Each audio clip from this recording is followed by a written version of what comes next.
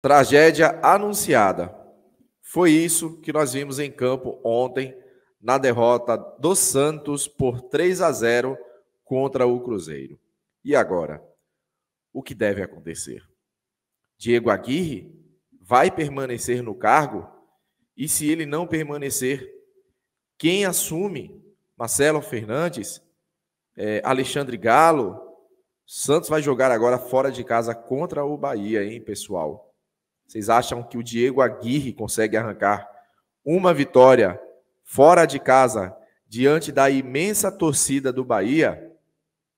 Vamos falar sobre isso agora mesmo aqui no canal HB Santos TV, após o recadinho do nosso anunciante. São apenas 10 segundos. Fique ligado. Jogos ao vivo, melhores cotações, saque rápido via Pix, PagBet. Acertou, tá pago.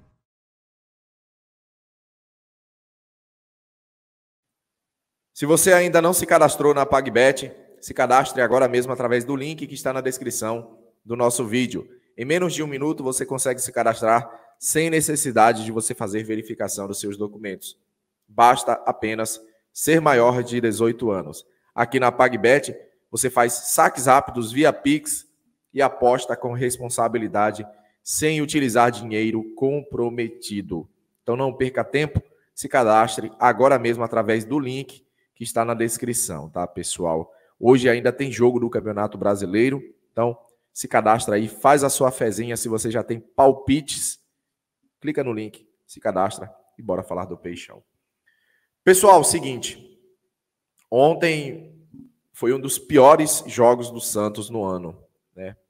Em casa, diante da torcida, mais de 12 mil torcedores, o Santos conseguiu perder quase que de goleada do Cruzeiro, né? Cruzeiro que tem um time limitado também e mesmo assim conseguiu vencer o Santos jogando na nossa casa, né? Eu iria repercutir aqui a coletiva do Diego Aguirre, mas comecei a assistir e não fui muito longe não, tá? Porque as explicações do Diego Aguirre são absurdas, né? Absurdas. As mudanças, né, a entrada do Lucas Lima apenas faltando aí 15 minutos para o término da partida, né? A permanência de alguns atletas e tudo mais, não dá para entender, né? E diante dessas esquisitas explicações do Diego Aguirre, a pergunta que eu faço é: tem condições ainda do Diego Aguirre permanecer no cargo de técnico do Santos, né? Um técnico que em cinco partidas conseguiu uma vitória e quatro derrotas, pessoal. Eu já tenho uma opinião formada que eu já expus para vocês na live de ontem e continuo com a mesma opinião. Diego Aguirre não deve, tá? Não deve mais permanecer como técnico do Santos. Tá, Gabi, mas se ele for demitido, quem assume? Por enquanto, Contra o Bahia, vamos de Marcelo Fernandes. Se é para cair, cara, não precisa gastar tanto dinheiro assim com um técnico que não consegue fazer esse time jogar bola. Coloca o Marcelo Fernandes, que conhece o ambiente, né? Tem uma postagem, inclusive, aqui falando de ambiente, uma postagem aqui da TNT, que eu vou até compartilhar com vocês. Essa aqui é a mensagem aí da TNT, né?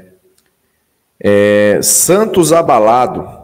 A situação crítica do peixe no Brasileirão está mexendo com o vestiário da equipe, segundo declarou o treinador Diego Aguirre. Os jogadores estão sofrendo com isso. O vestiário está mal, abre aspas.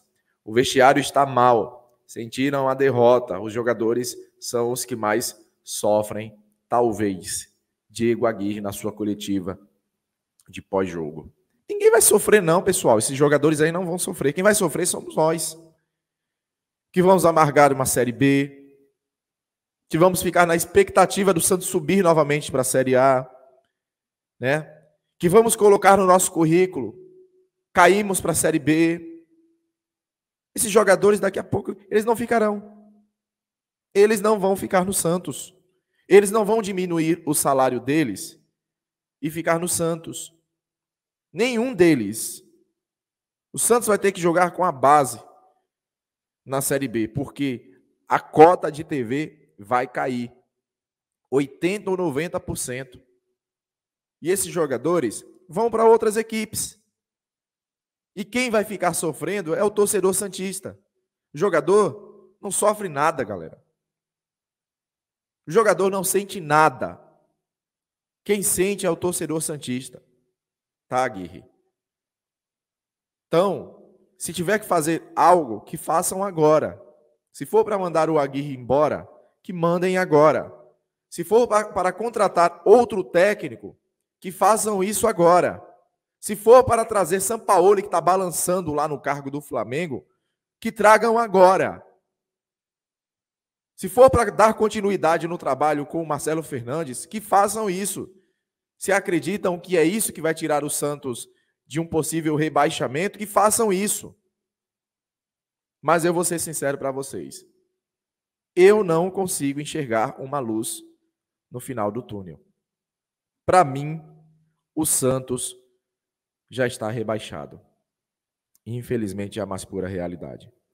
Com esse elenco, com essas decisões que a nossa diretoria toma, o Santos está indo a passos largos para a Série B. Infelizmente. Mas deixa aí nos comentários o que você acha que deve acontecer daqui para frente. Na sua opinião, o Santos permanece na Série A? Deixa nos comentários. Abraços, fiquem com Deus e até mais. Tchau, tchau. Fui. Jogos ao vivo, melhores cotações, saque rápido via Pix, PagBet. Acertou, tá pago.